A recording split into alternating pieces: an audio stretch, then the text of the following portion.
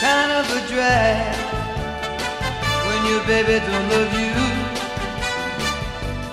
Kind of a drag when you know she's been untrue.